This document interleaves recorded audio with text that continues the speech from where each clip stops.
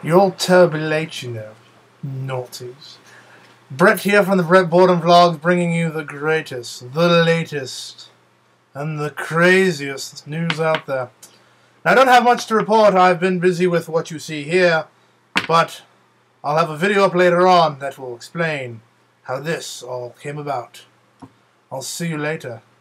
Don't be late.